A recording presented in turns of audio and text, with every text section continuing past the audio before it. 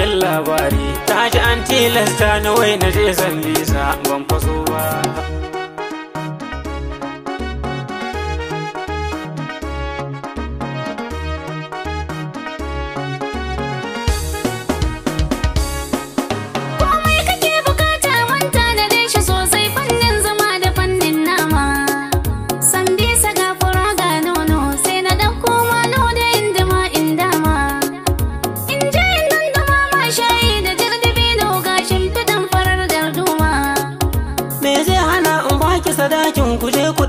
Ke sai ki zo da ƙarfe goma Ah, ina za a yau biki ba ango zai fi kyawu in kai ka dai garin mu ku saba da 'yan uwana.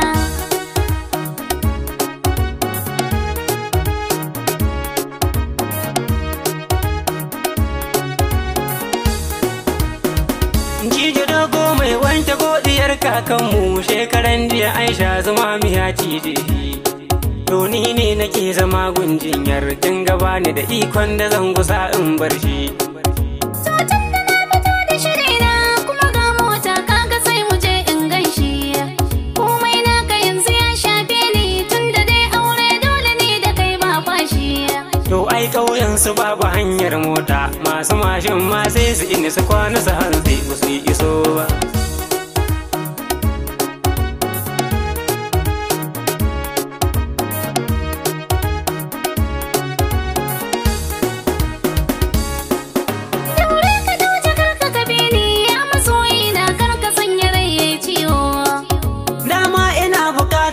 sanar da ke fa ni likita na ya ce in bari in yawo. Domin idan na hau mota na yi ta zarar zango nan gurin yana mun ciwo.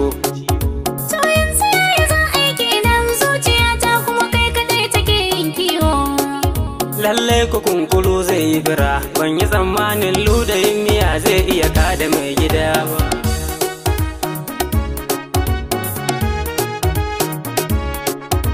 Subhana ga bakin labari, ta ji an tilasta na wai na je san bisa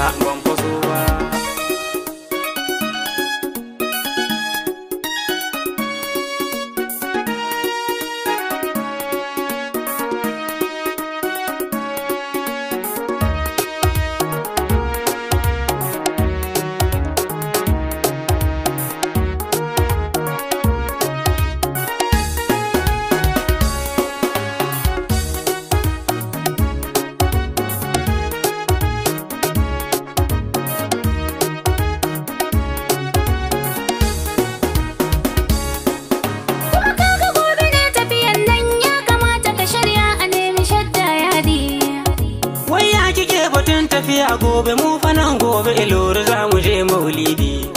Kuma sauri nake ana ta jira na a anguwa na karɓo aron kuɗin mai gadi. In kina ganin ba zan dawo ba riƙe takalmi na na dama ƙirar kedi. A'a mu je in raka ka dai a biya shi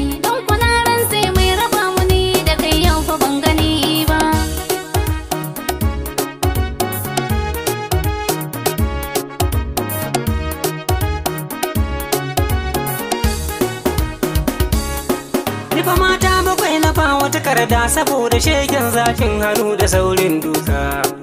Sai na bari kina yin girki in zuba miki naushi saboda kin kada kuka. Sannan a shekara biyu in na yi cefa ne uku to kin ci arzikin mai maka.